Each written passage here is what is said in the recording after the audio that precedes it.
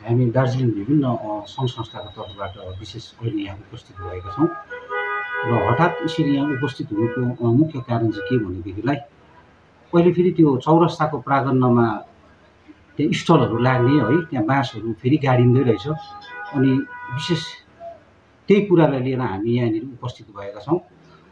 विशेष गरी त्यो चौरस्ता चाहिँ अहिले त्यो वरिपरि त अब एकदमै एउटा मान्छेले है अकुपाई गरेर लगिसक्यो। तर अब त्यो चौरस्ताको बिच त्यो प्राङ्गणमा पनि एकदमै चौरस्ता चाहिँ टुडीखेल भएर गइरहेको छ। विगत धेरै वर्ष अघिदेखि टुडीखेल भएर गइरहेको छ। अनि विगतमा पनि हामी विभिन्न सङ्घ संस्थाहरूले भनिरहेका छौँ म्युनिसिपालिटीलाई हामीले पत्रचार पनि गरिसकेका छौँ यस विषयमा कि त्यो चौरस्ताको प्राङ्गणलाई चाहिँ अरू दार्जिलिङ टुडीखेल भए तापनि चौरस्ताको त्यो प्राङ्गणलाई चाहिँ तपाईँहरूले खुल्ला राखिदिनुहोस् भनेर हामीले विशेष गरी नगरपालिकालाई चाहिँ विगत यो बोर्ड आउनुभन्दा अघिदेखि पनि हामीले पत्रचार गर्दै आइरहेका छौँ भनेदेखिलाई यो बोर्डलाई पनि हामीले दुई तिनपल्ट पत्रचार गरिसकेका छौँ। तर अब यो नगरपालिकाले अब यो अनुमति दिएरै यसरी त्यहाँनिर बाँसहरू गाडिँदै विभिन्न प्रकारको स्टलहरू लागिरहने गरिन्छ।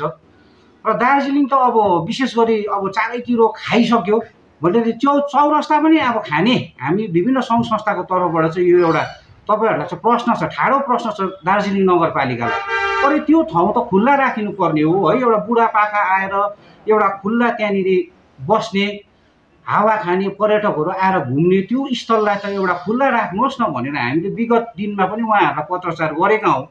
र पनि चौरस्ता दार्जिलिङको सिट एउटा मुटु मानिने ठाउँमा यो प्रकारको प्रविधिहरू हुनुको कारण चाहिँ के हो? कि तपाईँहरूले त्यहाँबाट केही एउटा अब मुनाफा कमाउनुको लागि है को त्यो ठाउँहरू तपाईँहरूले दिनु हुँदैछ कि? यो ठाउँलाई त तपाईँहरूले त एकदमै खुल्ला राखिदिनुहोस् न भनेर हामीले तपाईँहरूलाई बारम्बार भनिरहँदा पनि किन चाहिँ यहाँनिर त्यसरी स्टलहरू लाग्छ? त्यो ठाउँ बाहेक पनि त दार्जिलिङमा एउटा स्टलहरू लगाउने ठाउँहरू त अरू पनि छ होला।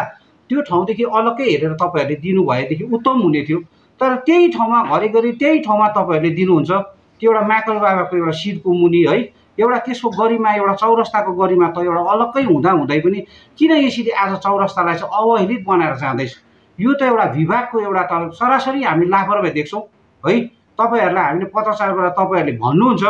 अब सामाजिक संस्थाहरू एनजिओजहरू भनेको हाम्रो मार्गदर्शक हो भनेर तपाईँहरूले भन्नुहुन्छ। तपाईँहरूको कुरालाई हामी सिरोपर गर्छौँ। तपाईँहरूले राम्रै कामको लागि गरिराख्नु भएको छ भन्नुहुन्छ। फेरि एकापट्टि दार्जिलिङ डामाडोल भएर स्थिति डामाडोल भएर गइरहेको छ।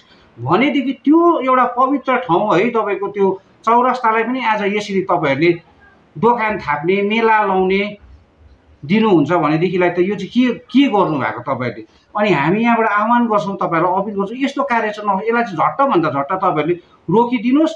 त्यसको बदलीमा तपाईँहरूले अरू कुनै पनि एउटा नयाँ ठाउँ हेरेर त्यो एउटा मेला हो कि दोकान थाप्नु दिइरहेको छ कि त्यसलाई चाहिँ एउटा अलग्गै ठाउँमा दिनुहोस् भन्दै अनि हाम्रो संस्थाबाट यहाँ बहिनी हुनुहुन्छ बहिनीले पनि केही कुरा राख्नु तपाईँहरूले यता नगरपालिकासँग चाहिँ सम्पर्क गर्नुभयो आजको यो विषय लिएर होइन आजको यो विषय लिएर त हामीले हेर्नुहोस् है नगरपालिकालाई हामीले आजको यो विषय लिएर चाहिँ हामीले सम्पर्क गरेनौँ।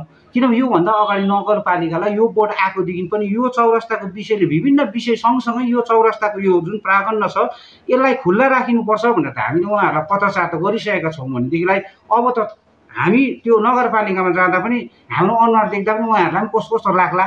त्यो टाइम वेस्ट भएको जस्तो मात्रै हो। अनि उहाँहरूले भन्नुहुन्छ हामी एकदमै तपाईँहरूको कुरालाई विचार गर्छौँ यो खुल्लै राख्छौँ भनेर उहाँहरूले हामीलाई आश्वासन दिनुभएको थियो। फेरि यस्तो हुनु त यो राम्रो होइन नि त। दार्जिलिङ दार्जिलिङ पाहाडको लागि पनि राम्रो होइन। जुन कुराको लागि चाहिँ सारा पब्लिकहरू चाहिँ विरुद्धमा छ भनेदेखिलाई त त्यो कुरा त गर्नु भएन नि।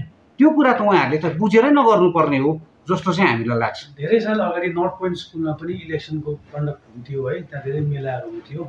अनि त्यहाँको स्कुलकै म्यानेजमेन्टले चाहिँ पिआइएल गरेर कोर्टमा गएर चाहिँ र यस्तो अर्डर निकालेको छ त्यहाँ केही पनि गर्नु सक्दैन अहिले कहिले पनि एडमिनिस्ट्रेसनले है। सो अब यो यो कुरा त भइरहेको कुरा हो नि दार्जिलिङमा होइन? यस्तो हुन्छ फेरि हुन्छ? तपाईँहरू सब मिलेर कोर्टमा जाने कि सोच्नु भएको छैन? कहिले नदिने यस्तो नदिनुहोस् भन्ने एउटा पर्मानेन्ट एउटा अर्डरै निकाल्यो भने हुन्छ नि।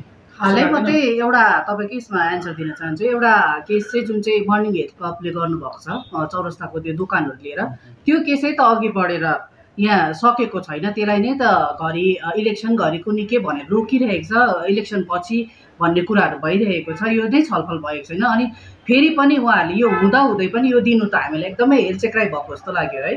हामीलाई चाहिँ एकदमै तर पनि हामीले जानै पऱ्यो भने चाहिँ हामी जान्छौँ। तर यो हामीले इन्स्ट्यान्ट हामीले आज नै आएर किन यहाँ बोल्दैछौँ भन्दाखेरि चाहिँ यो पर्सिदेखिको उनीहरूको ओपनिङ भएर स्टार्ट हुने रहेछ। अनि आज मात्रै हामीले है इलेक्सनको बिचमा हामीलाई सायद यस्तो हुँदैन जस्तो लाग्थ्यो किनभने कोड अफ कन्डक्ट पनि सकिएको छैन है? इलेक्सन भर्खरै मात्रै सकिएको। र यस्तो कार्यहरू देख्दा त हामीलाई पनि दुःख लागेर चाहिँ हामी एकदमै अचानकै यहाँ कतिजना भेला भएर आइपुगेको छौँ तपाईँहरू समक्ष किनभने यो जनतालाई देखाउन चाहेको। जनताले पनि बुझ्नुपर्छ जनता पनि अघि आएर यसमा बोलेको हुनुपर्छ किनभने यो चाहिँ कुनै पनि पोलिटिकल पार्टीले गरेको प्रोग्राम भने यो चाहिँ हामी एनजिओहरू आएर गरेको छौँ अनि जनताको हितमा बोलेको यो चाहिँ है?